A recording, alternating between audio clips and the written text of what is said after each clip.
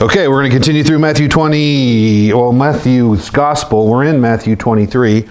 Uh, remember, last couple of times we were looking at the uh, end of 22. Uh, three groups of people come to Jesus, ask him a question. Then he turns around and asks them a question. Um, now we turn to Matthew 23. This is a pretty intense chapter. Um, it's packed with warnings, it's packed with woes, and it's packed with weeping. Warning, woes, and weeping. Matthew 23, warning, woes, and weeping. We're going to look at verses 1 through 12. Uh, we see Jesus warns the crowd and his disciples. And then in verses 13 through 36, you see Jesus denounces the scribes and Pharisee in the form of seven woes. And then in verses 37 through 39, you see Jesus weeps over Jerusalem. So that's the structure of chapter 23 warnings, woes, weepings. Uh, chapter 24 starts the Olivet Discourse, which is a pretty intense uh, two chapters, too. So the next three chapters in Matthew are intense. So we begin that today. Let's go uh, verses 1 through 12. Then Jesus said to the crowds and to his disciples, The scribes and the Pharisees sit on Moses' seat. So do and observe whatever they tell you but not the works they do, for they preach but do not practice. They tie up heavy burdens hard to bear and lay them on people's shoulders. But they themselves are not willing to move them with their finger. They do all their deeds to be seen by others, for they make their phylacteries broad and their fringes long. And they love the place of honor at feasts and the best seats in the synagogues, and greetings in the marketplaces, and being called rabbi by, by others. But you are not to be called rabbi. If you have one teacher, and you are all brothers, and call no man your father on earth, for you have one Father who is in heaven. Neither be called instructors, for you have one instructor, the Christ. The greatest among you shall be your servant. Whoever exalts himself will be humbled, and whoever humbles himself will be exalted. Verses 1 through 7, we see Jesus exposes hypocrisy.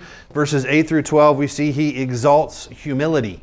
So we see the contrast between hypocrisy and humility. Let's look again at verses 1 through 7 and see how Jesus is exposing hypocrisy. Then Jesus said to the crowds and to his disciples, The scribes and the Pharisees sit on Moses' seat. So do and observe whatever they tell you, but not the works they do, for they preach but do not practice. So, right here, we, who's Jesus talking to? Crowds and his disciples. Okay? Not until verse 13 does he turn and start talking to the Pharisees and the chief priests. Okay? Right here, he's talking to the crowds and the disciples. It's important that we recognize that. He's saying, Pay attention to, he said, the scribes and the Pharisees sit on Moses' seat, so do and observe whatever they tell you but not the works they do. When teaching the word, for the scribes and Pharisees, it would have been what? The Old Testament. Amen? When teaching the word, it is important that one stays on the line. Follow me here. Not above the line, adding to the word. The word is the line. They're not to go above the line and add to it, and they're not to go below the line and take from it. Okay? Just stay on the line. Say what it says and let it be. See, we see this, the scribes and the Pharisees.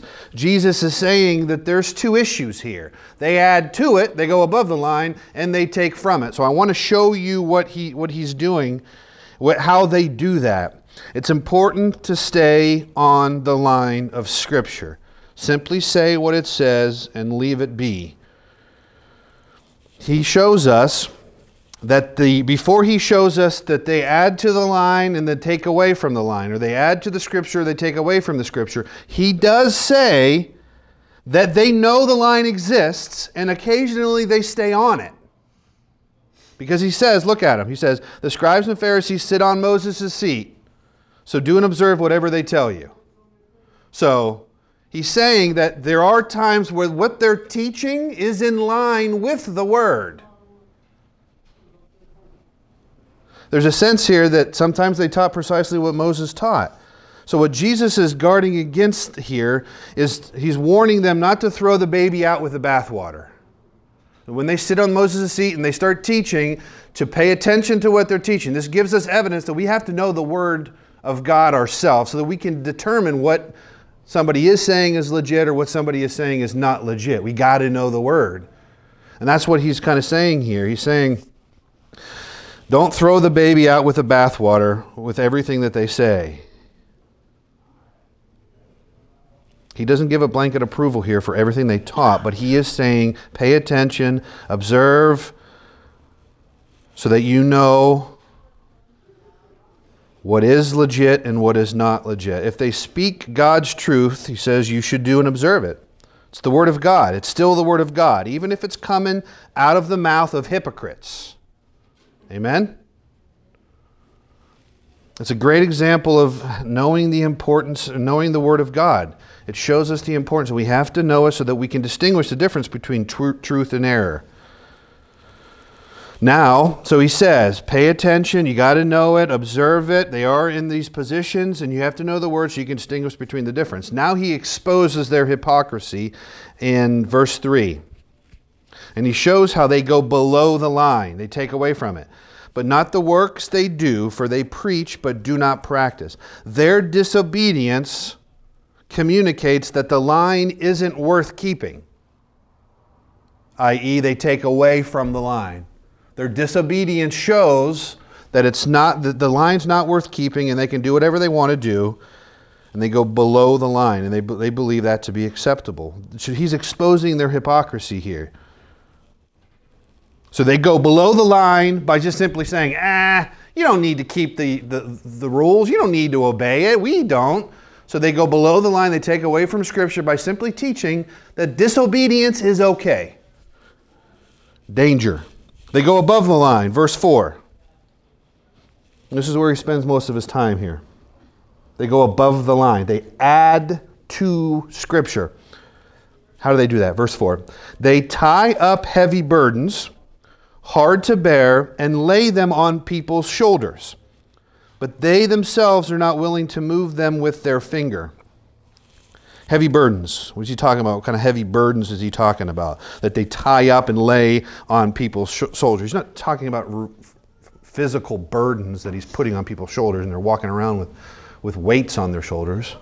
What he's talking about are all the man made legal traditions that the Jews, the Israelites, the, the scribes, Pharisees, religious elite, chief priests, they add to the Word of God have all these laws, all these things that they've created in an attempt to obey the word. But what they've done is, with all these man made rules, they've elevated them to the same level as the word of God and then teach it as if it was God's law, God's word. Some examples include around the Sabbath. We had talked about this months ago when we were early, earlier in Matthew. One of the things they did was a tailor couldn't carry a needle on the Sabbath lest he would be tempted to sew something that was ripped. Remember, you can't work on the Sabbath. They took it a step further. A tailor can't even carry a needle because he'll be tempted, if something's ripped, to sew it. That's an example. A student couldn't carry his books on the Sabbath because he might read them. Can't read. Student works, reading would be work. You can't even carry a book. Another example cold water could be poured on warm water, but warm water couldn't be poured on cold. Here's another one. You couldn't take a bath on the Sabbath for fear that water would spill onto the floor, and by wiping it up, that's considered cleaning and working, so you couldn't even take a bath. Okay? So, this is the kind of burdens that they've laid on the people that Jesus is talking about here. These man made legal religious traditions became overwhelmingly unbearable to anyone to keep.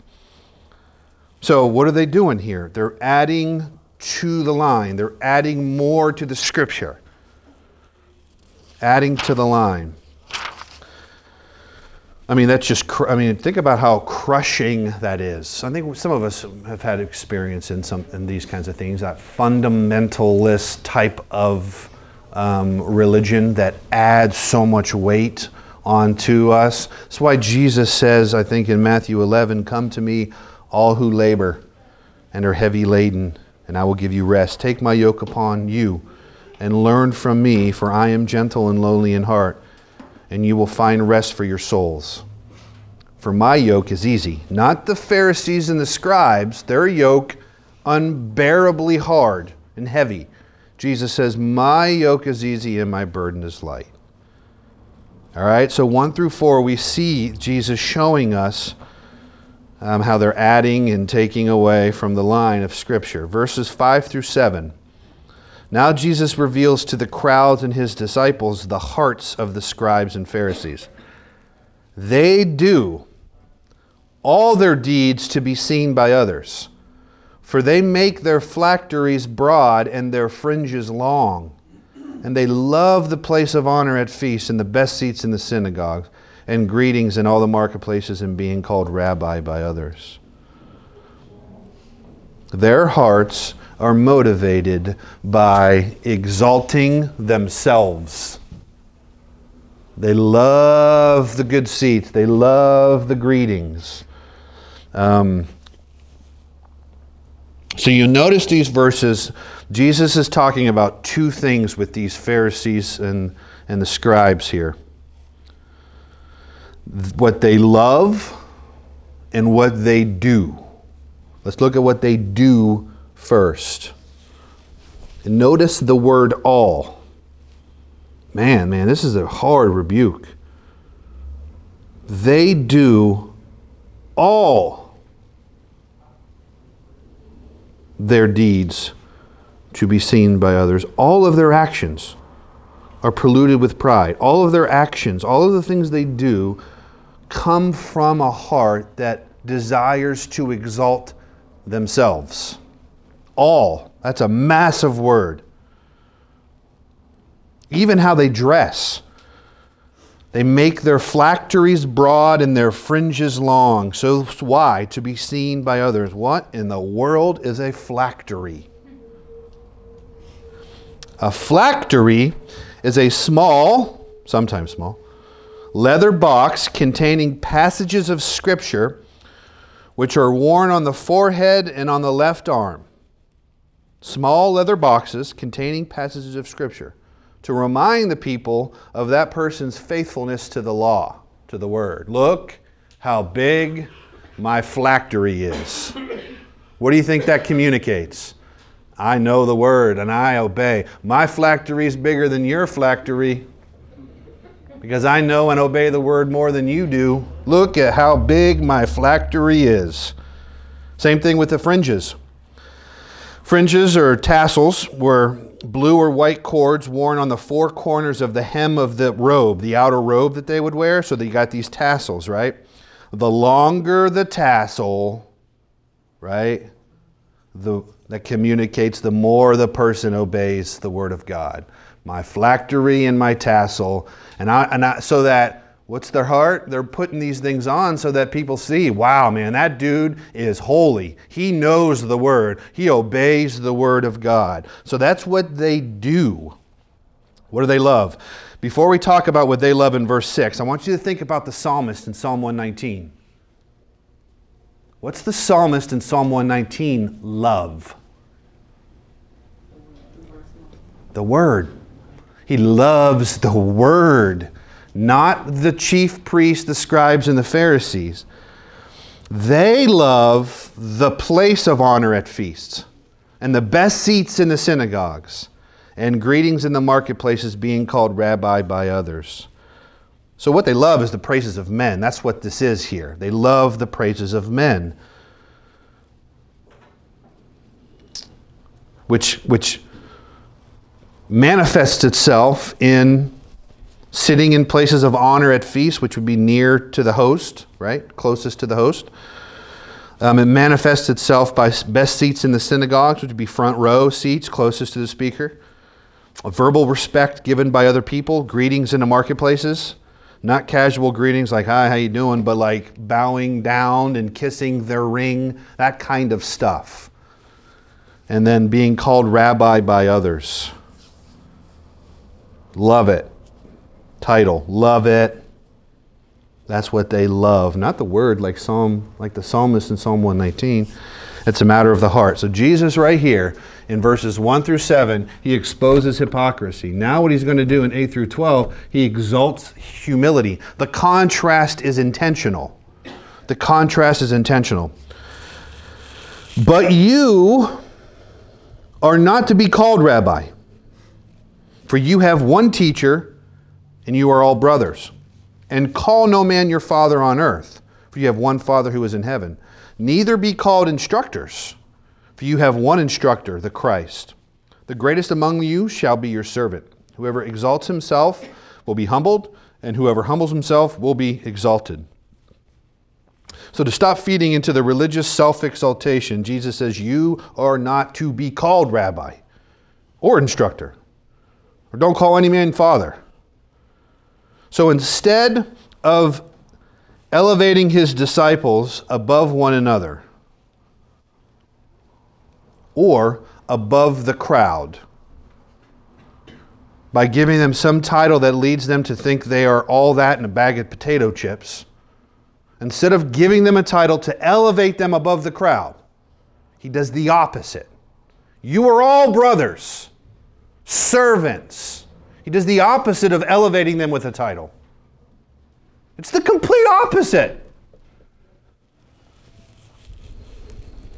He humbles them by bringing them together on one level, brothers. Notice the repetition of the word called, or the form of, of, of, that word. Verse 8, not to be called rabbi. Verse 9, and call no man your father. Verse 10, neither be called instructors. Jesus is saying that his followers are not to be called anything special. There is only one word, word there's only one who is worthy of that designation God. Now, watch how we see this. This is amazing how Jesus exalts God. When I say God, I mean the Trinity God the Father, God the Son, God the Holy Spirit. He's bringing all the crowd and his disciples down, humility, not exalting his disciples above anyone else. All of them are brothers. Who does he exalt? He exalts God, the Trinity. Look how he does it. Verse 8. But you are not to be called rabbi, for you have one teacher. John 14 verse 26. Let me read it to you. Who's the teacher? Now, pay attention. I'm going to read John 14, verse 26. But the Helper, the Holy Spirit, whom the Father will send in my name, he will teach you all things and bring to your remembrance all that I have said to you. Who's the teacher, the one teacher? Holy Spirit. Then look at, look at verse 9. And call no man your father on earth, for you have one Father. And who's he talking about? God the Father. Second person, right? That's, that's two of the three in the Trinity. Verse 10 Neither be called instructors, for you have one instructor, the Christ. Who's the Christ? The Son. He exalts the Trinity Holy Spirit, teacher, Father, Father, Christ, instructor. Not the disciples, not with a name, not with a title. Humility. He says, matter of fact, the greatest among you should be your servant.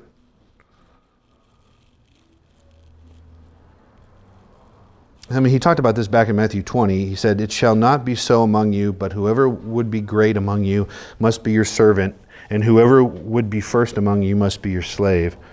Jesus is saying that the person who is not seeking personal gain of any sort, but simply the opportunity to serve, is considered greater, not interested in the title. You don't need to call me apostle, you don't need to call me instructor. Servant, brother he exalts humility.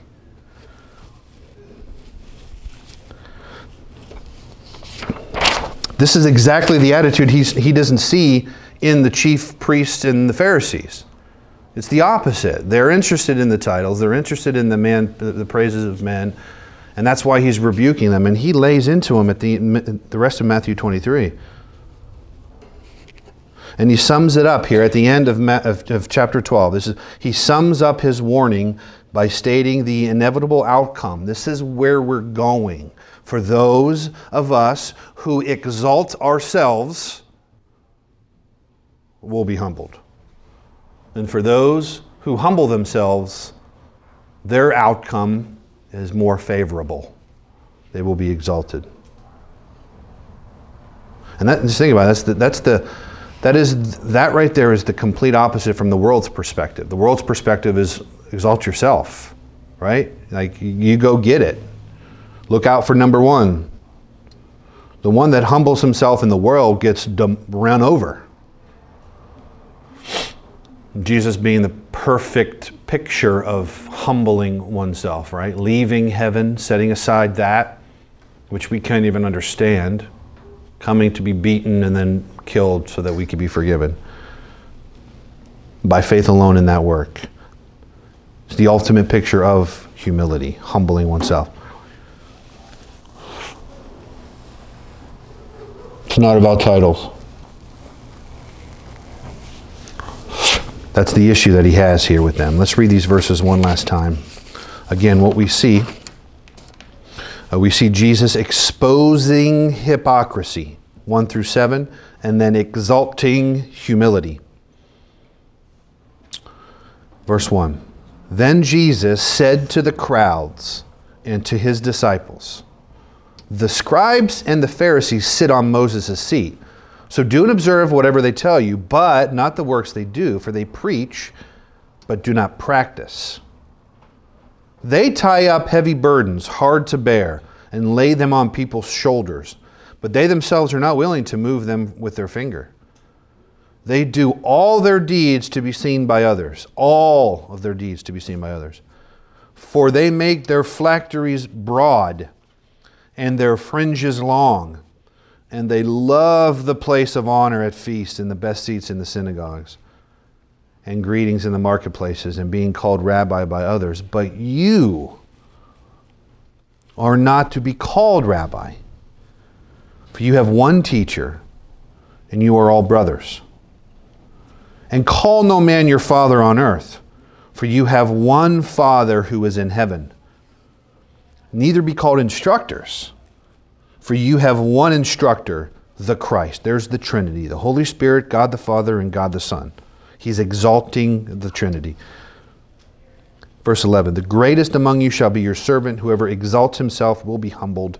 Whoever humbles himself will be exalted. Let's pray. Lord Jesus, everyone in this room is guilty of everything the scribes and Pharisees are doing, have done, are doing in the text. Every single one of us. Filthy, wretched, seeking the praises of men, loving those honored seats.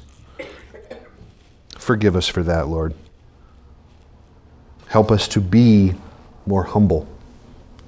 Help us to be like you, Lord. If we're desiring to, to be like you and to seek after you, the product of that the result of that, of your work in our lives, is humility. So forgive us for, for exalting self. And Lord, we praise you for the grace and the mercy you extend to us, having been bought by the blood. We love and praise you in Jesus' name. Amen.